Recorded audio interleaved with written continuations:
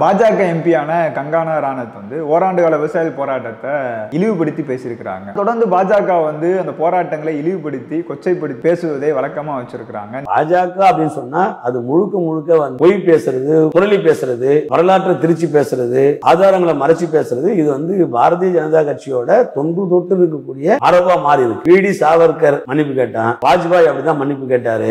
H ராஜா அப்படிதான் மன்னிப்பு கேட்டாரு. இவர்கள் இப்படிதான் அவங்களோட அவங்க வந்து பாஜகவோட அதிக அதிகாரப்பூர்வமான பார்லிமெண்ட் மெம்பர். பார்லிமெண்ட் மெம்பர் வந்து சொன்னா விவசாயிகளுக்கு எதிராக ரொம்ப மோசமான தரக்குறைவான வார்த்தைகளை பயன்படுத்தி பேசுறாங்க அது எப்படி தனிப்பட்ட கருத்து சொல்ல முடியும்? நீ வந்து ரோட்ல போற ஏதோ ஒரு நாயினா சொல்லிட்டு போலாம் பிரச்சனை கிடையாது. நீ அந்த கட்சியோட அதிகாரப்பூர்வமான எம்பி இல்ல.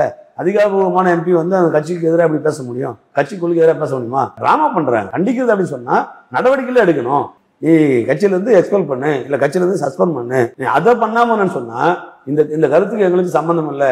இது வந்து அவங்களுடைய தனிப்பட்ட கருத்து அப்படின்னா நான் எனக்கு எனக்கு இன்னும் ஒரு கேள்வி இருக்கு. ஒரு பிரதமராக இருக்கட்டும் இல்லை உள்ளாட்சித்துறை மந்திரியாக இருக்கட்டும் அல்லது வந்து ஹோம் மினிஸ்டராக இருக்கட்டும் யாரா வேணாலும் இருக்கட்டும். நீ வந்து ஒரு அரசாங்கத்தோட பிரஜையா மாறின பிறகு நீ அரசாங்கத்தோட கருத்தை தானே இருக்க முடியும் உன்னோட தனிப்பட்ட கருத்து எப்படி வர முடியும்? வரவே முடியாதுல்ல. அப்ப கங்கனா ராணாவத்தை எப்படி தனிப்பட்ட கருத்து சொல்ல முடியும்? அதோட விளைவு தான் அவங்க ஹரியானாக்குள்ள வரும்போது நான் சொன்னா அன்னைக்கு வந்து அந்த குல்தீப் அரைஞ்சாங்க. உண்மையிலே இதே நிலைமையில வந்து கங்கனா ராணாவத் பேசிக்கிட்டே வந்தாங்க சொன்னா ஒரு கட்டத்துல வந்து இந்தியாவில் இருக்கிற விவசாயிகள் எல்லாம் சேர்ந்து ரோட்டில் ரோட்ல ஓட விட்டு அடித்தாலும் வந்து ஆச்சரியப்படுறது கிடையாது. கை கட்டுறது வாய் கட்டாம போயிடுச்சு நான் எல்லாத்தையும் கொண்டு போய் அதானிக்கிட்ட அம்மானிக்கிட்ட கொடுத்துட்டேன் நினைக்கிற நேரத்தில் வந்து சொன்னா அது அவன் கையை விட்டு போனவொடனே அவங்களால அதை ஜீர்ணிக்க முடியல. நீங்க ஹரியானாவில் வந்து அதானி வந்து அவ்வளோ பெரிய ஏசி குடோன் கட்டி வச்சுக்கிறாரு. இந்த விவசாயி எடுக்கிற எல்லாத்தையும் பிடிங்கி கொள்ளை லாபம் பதுக்கல் பண்ணி கொள்ளை லாபம் அடிக்கிறது தான். ஸோ இதெல்லாம் நடக்க முடியாமல் போயிருச்சுன்ற அந்த ஆதங்கம் அந்த கோபம் வந்து விவசாயிகள் மேலே ஒரு வெறுப்பை வந்து என்னன்னா தெளிக்கிற ஏற்பாடு. அது அவர்களுக்கு எதிராக பேசாது. விவசாயம் மட்டும் இல்ல இஸ்லாமியர்கள் மீது வெறுப்பு பேசுறது தலித்துகள் மீது சமூக